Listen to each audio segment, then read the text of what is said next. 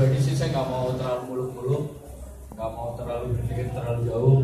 Yang penting step by step saya lakuin yang terbaik aja sih. Ada lagi? Oh, ya kalau mau juara di Istora pasti pengen. Cuman kan ya kita nggak bisa pastiin juga. Besok kan nggak ada yang tahu hasilnya gimana. Pasti kita mau lakuin yang terbaik. Pengen banget juga juara di sini. Ya do the best aja sih Ada lagi? Coach, bagaimana coach mungkin tuh bisa ditambahkan coach peluang deminya untuk jadi juara di Stora dan strategi untuk besok gimana nih? Apakah untuk mengurangi kayak tadi error-error di net atau sebagainya gitu? Ya, kalau Kamera coach, maaf.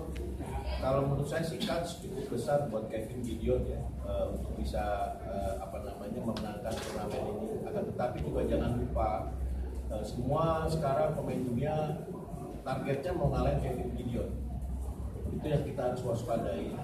Dan jangan selalu apa jangan lengah setiap eh, musuh kita harus eh, persiapan prepare strateginya seperti apa. Karena setiap pemain itu setiap pasangan itu mainnya tidak sama.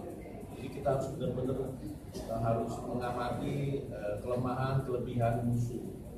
Jadi untuk keduanya eh, mungkin menurut saya mungkin nanti boleh ditanya ke Kevin Gideon mungkin kalau main di Istora eh, di Istora sebagai tuan rumah itu eh, atmosfernya agak beda ya.